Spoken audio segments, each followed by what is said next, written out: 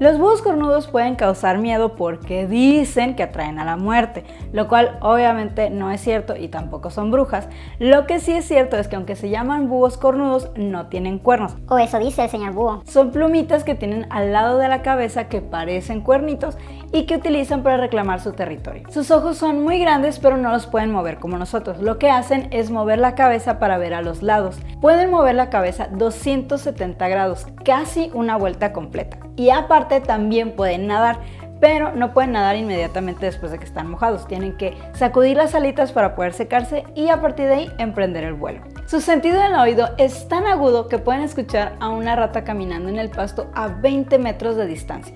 Son del género bubo y su especie es bubo virginianos. Este tipo de búho puede vivir desde Alaska hasta Argentina y puede estar en casi cualquier tipo de clima. En México se encuentran desde Baja California hasta la península de Yucatán, aunque no hay mucha información de su distribución y población actual. Los búhos se pueden reproducir desde diciembre hasta abril o mayo y usualmente utilizan los nidos vacíos de algunas otras aves como las águilas. Probablemente ese es el búho que puede vivir en más variedades de hábitats y climas, o sea, muy adaptable él. Los búhos pueden comer una gran variedad de alimentos y aparte son una especie oportunista. Bien, gandallas. Mayormente salen a cazar de noche y como no tienen dientes se tragan su presa completa y después regurgitan lo que no pueden digerir. Pueden comer diferentes tipos de animales como ratas, ratones, ardillas, incluso otras aves, pero también pueden comer lagartijas, ranas e insectos. Un búho doméstico puede ser alimentado por ratas, ratones y conejos, pero es muy importante que acudas con un veterinario para que te dé la información correcta de cómo poder cuidarlo. Los búhos cornudos tienen características muy excepcionales. Desafortunadamente aparecen en la lista roja de... No, ya. Aparecen en la lista roja de especies amenazadas. Ay, voy a dejar hasta amenazadas. es que está muy difícil. Los búhos cornudos tienen características muy excepcionales.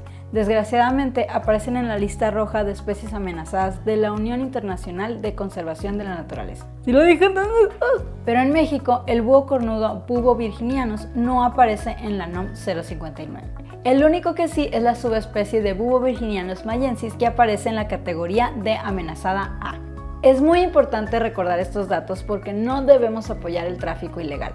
Debemos respetar su hábitat y dejar que vivan libremente. El 4 de agosto es el Día Internacional de la Conciliación sobre el Búho, pero no importa el día que sea, debemos respetar a esta especie y sobre todo pasar información que nos ayude a empatizar más sobre ellos y conocerlos, y dejar de pasar información falsa como mitos que solamente los perjudican. Espero que te haya gustado este video y si hay algo que te gustó sobre los búhos lo puedes poner en los comentarios, así que suscríbete, dale like y todas esas cosas. Bye. ¿Qué utilizan para reclamar su territorio? Ay, cuidado.